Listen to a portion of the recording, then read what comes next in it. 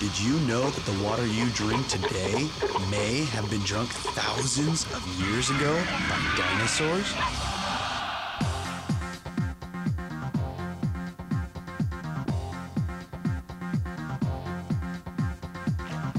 All the water on the earth has always been here. The water that exists never disappears, and no new water is ever created. Huh? How does that happen? The water just keeps changing form. Sometimes it's a liquid. Sometimes it's a solid. Sometimes it's a gas.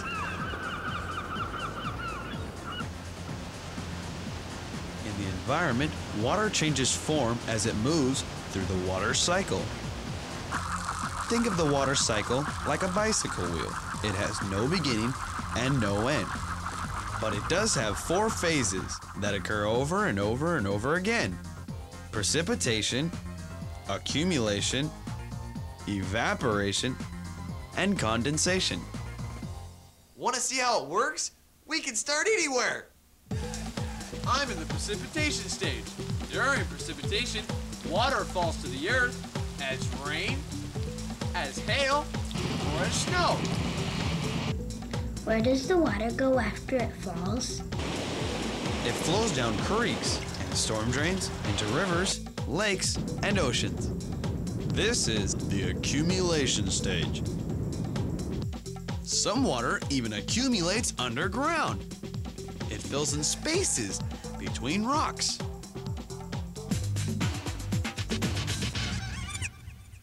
Now here's something you can try to see how water is stored underground. First, get a cup. Now, fill it to the top with sand or gravel. Do you think it's full? Try to get a little bit more in.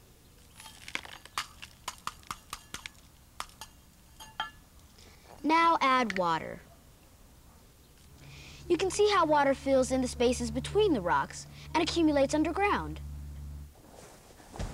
After it is accumulated above ground, water does an amazing thing. It changes form. It evaporates. From a liquid, it becomes an invisible gas. What makes water change form? As the sun shines on water, it heats up the water molecules. When the water molecules get hot enough, they evaporate. That is, turn into a gas. The gas molecules rise up into the atmosphere. As they rise, the molecules cool and begin to condense on particles of dust. That means they turn back into very teeny water drops.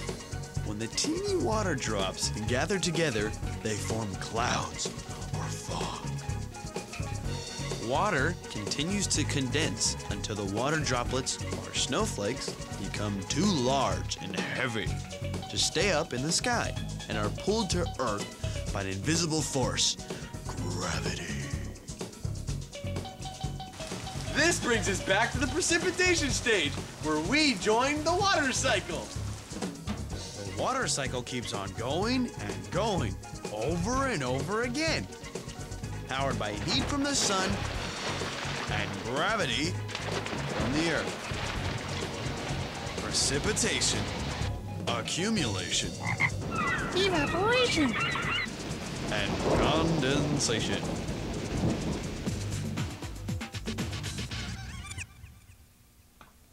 You can see how the water cycle works by trying this experiment. You may need a grown-up to help you.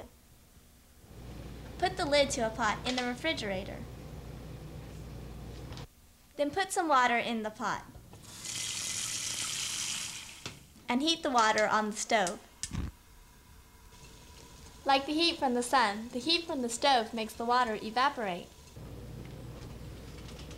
Take the cold lid out of the refrigerator. You can use it to see how water condenses as it rises and cools. After a while, the water becomes too heavy to stay on the lid, and it rains back into the pot to start the water cycle all over again. By now, you're probably wondering where we fit in the water cycle. Where do we get the water we use? And how does water get inside the pipes in our houses? In most cases, a water company delivers water to us through a system of pipes and valves. But where does the water company get the water? Water companies get water in different places. They can build wells and pump water from underground, where water is stored in layers of rock. Water can also be pumped from lakes, rivers, or streams. In some areas, water that falls during the winter is saved in man made lakes called reservoirs. During the summer, when it doesn't rain very much, we can use the water in the reservoirs. But water doesn't come directly to our homes. It has to be treated first.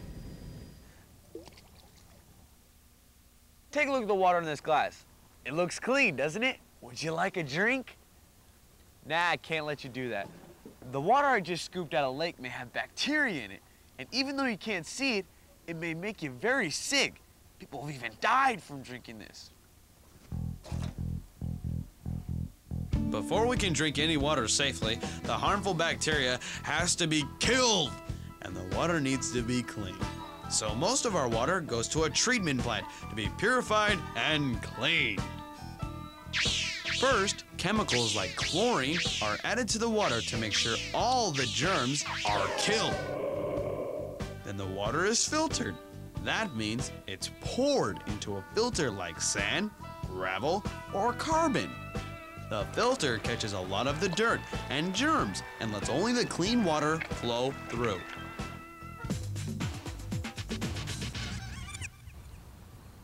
I'm going to show you how to make your own water filter.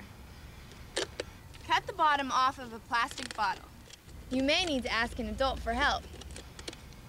Put a piece of wire screen or nylon over the neck and secure it with a rubber band.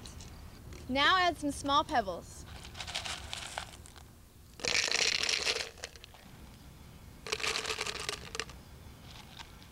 Coarse sand. And finally, some fine sand. Run water through to clean the filter.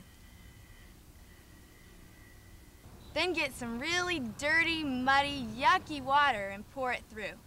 You can see how the filter traps a lot of the stuff that was in the water. Unfiltered? Filtered. But don't drink it. Chlorine needs to be added again to kill any harmful bacteria that still may be hanging around. The water is finally ready for us to use, so it's pumped into pipes that lead to our homes.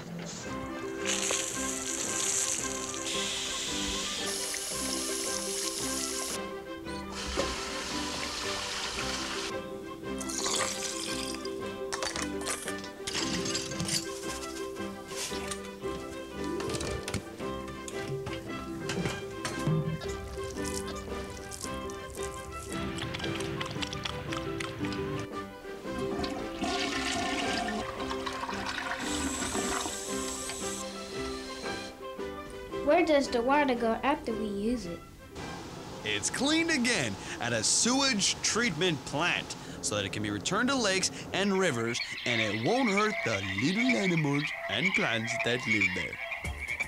And who knows, the way the water cycle works, after it accumulates, Evaporates, condenses, and precipitates, you might even end up drinking this water again sometime in the future.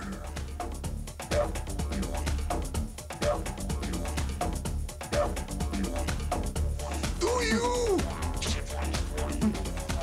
Want to?